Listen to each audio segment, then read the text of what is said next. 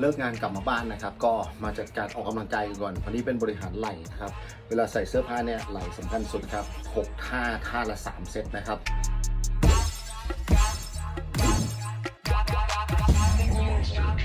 ช่วงพักอย่าเล่นโทรศัพท์ไม่งั้นไม่ต่อเนื่องครับ jumping jack สัก 30 ครั้งครับเหนื่อยเหมือนกันนะครับ หอบเหมือนกันนะครับเนี่ย พยายามให้ร่างกายมันวอร์มตลอดเวลาให้ มันมีความร้อนตลอดเวลาไม่งั้น ถ้าหยุดไปนานๆมันขี้เกียจนะครับ ระหว่างเซตก็โดดจัมปิ้งแจ็คประมาณ 30 ครั้งครับ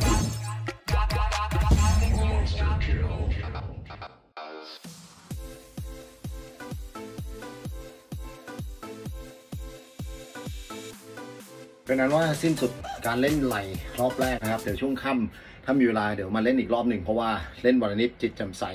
ไหลแข็งแกร่ง พร้อมสำหรับการรับงานพิธีกรครับ